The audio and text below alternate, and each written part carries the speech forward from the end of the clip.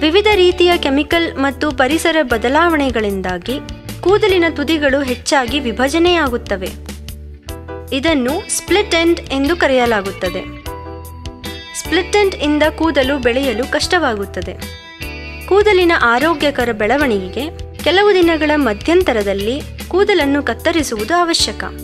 ಕೂದಲನ್ನು straight cut ಮಾಡುವುದು ತುಂಬಾ ಸರಳವಾದ ಉಪಾಯವಾಗಿದೆ. ಯಾವ ವ್ಯಕ್ತಿಯ ಕೂದಲನ್ನು ಕತ್ತರಿಸಬೇಕೋ, ಅವರೊಂದಿಗೆ ಕೂದಲಿನ ಉದ್ದವನ್ನು ಎಷ್ಟು ಕಡಿಮೆ ಮಾಡಬೇಕು ಎಂದು ಸಮಾಲೋಚಿಸಿ. ಕತ್ತರಿಸಿದ ಕೂದಲು ಅವರ ಬಟ್ಟೆ ಅಥವಾ ದೇಹದ ಮೇಲೆ ಬೀಳಲು ಬಿಡಬೇಡಿ. ಅವರ ದೇಹವನ್ನು ಏಪ್ರಿನ್ ಅಥವಾ ಟವಲ್ನಿಂದ ಮುಚ್ಚಿ. ಪರ್ಲ್ ಬ್ರಷ್ ಸಹಾಯದಿಂದ ಗೋಜಲಗೊಂಡಿರುವ ಕೂದಲನ್ನು ಸರಿಪಡಿಸಿ.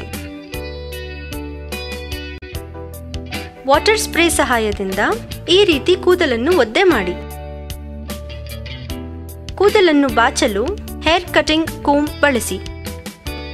ಈ ಕೋಮ್ ಸಹಾಯದಿಂದ ಕೂದಲನ್ನು ಕೆಲವು ಭಾಗಗಳಾಗಿ ವಿಂಗಡಿಸಿ. ಕೂದಲನ್ನು ಬಲ ಮತ್ತು ಎಡಕ್ಕೆ ವಿಭಜಿಸುವ ಮೂಲಕ ಎರಡು ವಿಭಾಗಗಳನ್ನು ಮಾಡಿ. ಇವುಗಳಲ್ಲಿ ಒಂದು ಭಾಗವನ್ನು ಎರಡು ಭಾಗಗಳಾಗಿ ವಿಂಗಡಿಸಿ. ಒಂದು ಭಾಗವನ್ನು ಕಿವಿಯ ಕಡೆಗೆ ಮತ್ತು ಒಂದು ಭಾಗವನ್ನು ಕಿವಿಯ ಹಿಂದೆ ಭಾಗಿಸಿ. ಇನ್ನೊಂದು ದೊಡ್ಡ ಭಾಗವನ್ನು ಅದೇ ರೀತಿಯಲ್ಲಿ ಭಾಗಿಸಿ.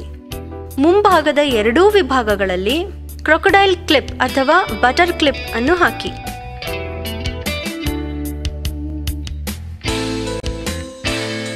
ಹಿಂಭಾಗದಲ್ಲಿ ಕೂದಲನ್ನು ನಿರ್ಧರಿಸಿದ ಉದ್ದಕ್ಕೆ ಕತ್ತರಿಸಿ. ಕೂದಲನ್ನು ಕತ್ತರಿಸುವಾಗ ಕತ್ತರಿಯನ್ನು ಈ ರೀತಿ ತೊಂಬತ್ತು ಡಿಗ್ರಿ ಕೋನದಲ್ಲಿ ಮಾತ್ರ ಹಿಡಿದುಕೊಳ್ಳಿ. ಕತ್ತರಿ ಕರ್ಣೀಯವಾಗಿ ಹಿಡಿಯಬೇಡಿ. ಕೂದಲನ್ನು ಈ ರೀತಿ ಬೇರ್ಪಡಿಸಿ ಮತ್ತು ಪ್ರತಿ ವಿಭಾಗದ ಕೂದಲನ್ನು ಒಂದೊಂದಾಗಿ ಕತ್ತರಿಸಿ. ಕೂದಲು ಕತ್ತರಿಸುವಾಗ ಕತ್ತರಿ ಮತ್ತು ಬಾಚಣಿಗೆಯನ್ನು ಎಂದಿಗೂ ಕೆಳಗೆ ಇಟ್ಟುಕೊಳ್ಳಬೇಡಿ. ಅಲ್ಲದೆ ನಿಮ್ಮ ಕೈಯನ್ನು ಕತ್ತರಿಸದಂತೆ ನೋಡಿಕೊಳ್ಳಿ. ಹಿಂಭಾಗದ ಭಾಗಗಳನ್ನು ಒಟ್ಟುಗೂಡಿಸಿ ನಂತರ ಕೂದಲನ್ನು ಕತ್ತರಿಸಿ. ಅಂತಿಮವಾಗಿ ಎಲ್ಲಾ ಕೂದಲನ್ನು ಒಟ್ಟುಗೂಡಿಸಿ, ಅದನ್ನು ಇನ್ನೂ ಸ್ವಲ್ಪ ಹೆಚ್ಚು ಕತ್ತರಿಸಿ. ಈ ರೀತಿಯಾಗಿ ನೀವು ನಿಮ್ಮ ಸ್ನೇಹಿತರ ಕೂದಲನ್ನು ಸಹ ಕತ್ತರಿಸಬಹುದು.